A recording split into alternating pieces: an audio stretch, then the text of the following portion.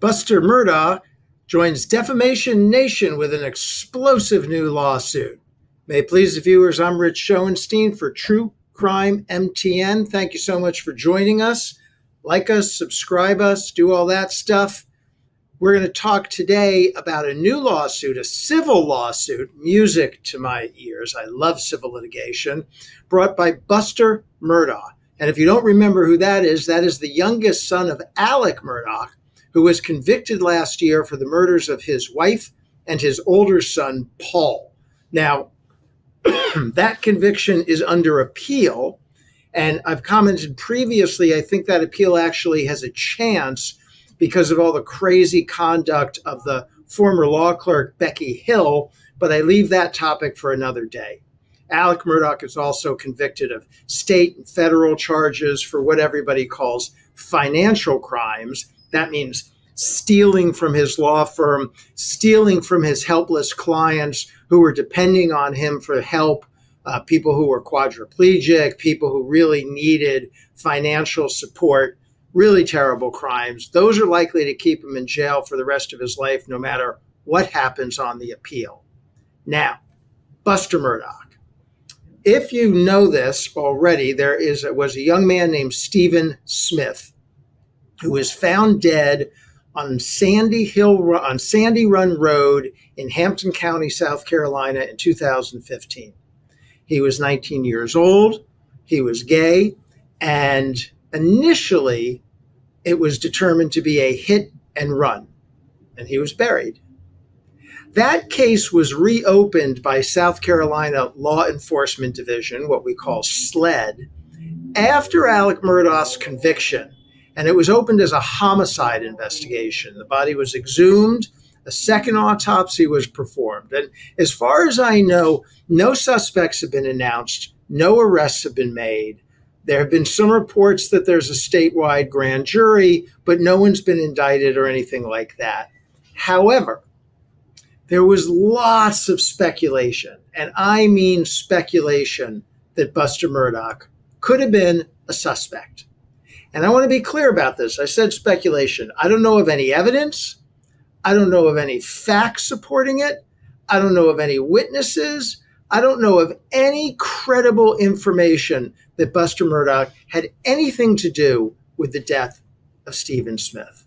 But that didn't stop people from talking about it. And that talking about it led to this new lawsuit, which Buster Murdaugh filed on June 14th, 2024, in the Court of Common Pleas in the state of South Carolina, county of Hampton. And here's what Buster Murdaugh alleges.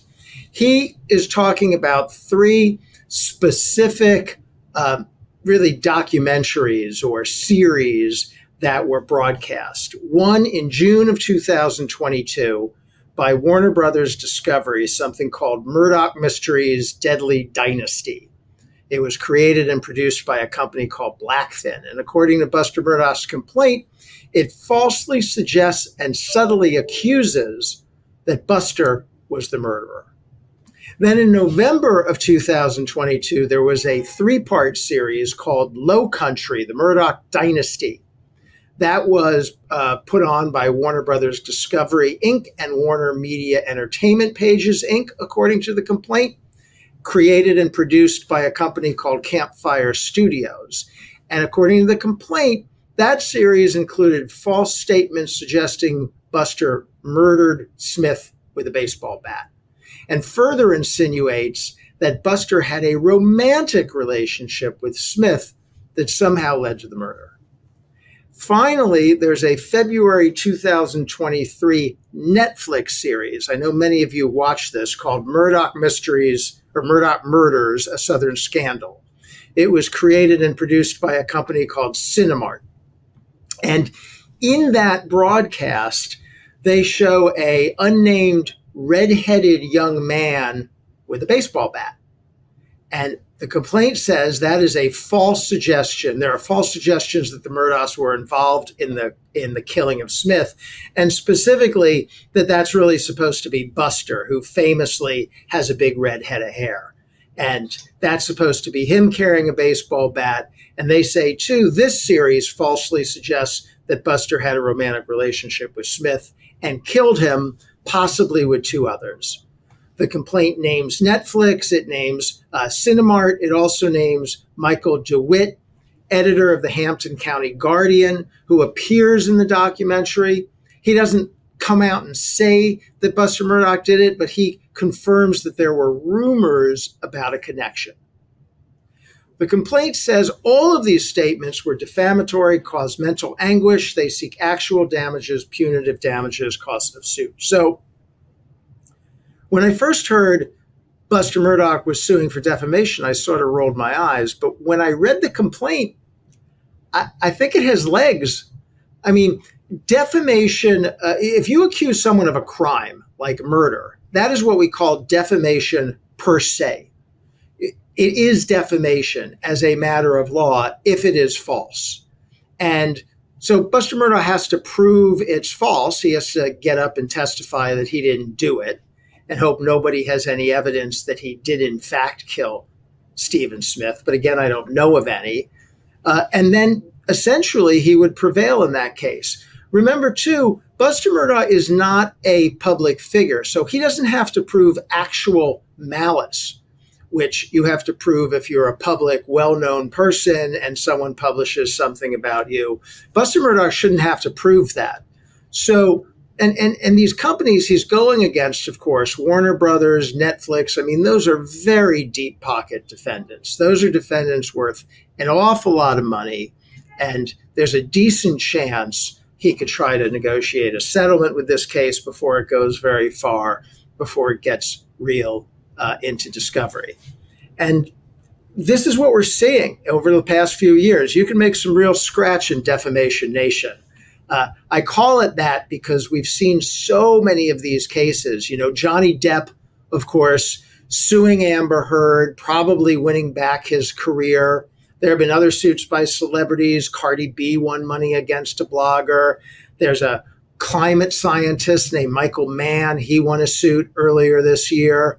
And then there are some big political cases you're probably familiar with. Alex Jones, Alex Jones was sued by relatives of the school children killed at Sandy Hook.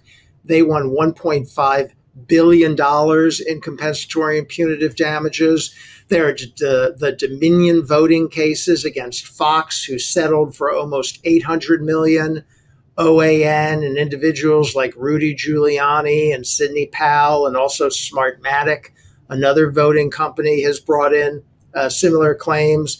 There was the E. Jean Carroll case against Donald Trump. She won $83.3 million for his defamatory statements. Of course, not to be outdone, Donald Trump is currently suing ABC and George Stephanopoulos for comments they made about that case, alleging that they defamed him. So it's going both ways. Now, they're not always successful. We've seen many defamation suits brought by celebrities that didn't win. Marilyn Manson lost one. Dave Portnoy of Barstool Sports had to walk away. Sarah Palin failed in her effort against the New York Times. Stormy Daniels failed in a defamation suit against Trump. So they don't always work. Traditionally, they were very hard to sustain and very hard to prove, but we've seen so many of them and some with really, really big numbers that it motivates people like Buster Murdaugh, who have been maligned in the press, possibly without basis, to bring this kind of suit to seek vindication and to seek money. His suit is proceeding in state court in South Carolina. That's an interesting decision. He could have dropped some of the defendants and gone to federal court. He could have maybe sued in a different state. Uh, there's an argument that why would he want to be in South Carolina where his family's name is not exactly held in esteem anymore? Although I think maybe he thinks the jury would be sympathetic to him.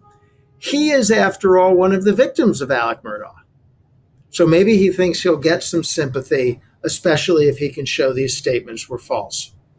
Um, we're going to keep an eye on the case. We're going to definitely keep an eye on this case and others. You know, uh, by the way, I am a civil litigator and trial lawyer, and among other things, I I've brought defamation cases. I've defended against defamation cases. Uh, if you have one or are having one asserted against you, you can always give me a call at my law firm, Tarter, Krinsky, and Drogin, or frankly, if you have other legal needs. We'll keep an eye on this case and others. For now, we are adjourned. If you like this video, please like it and subscribe. I'm Dave Aronberg, aka the Florida Lawman, here on the fastest growing true crime channel, True Crime MTN. And we'll see you next time.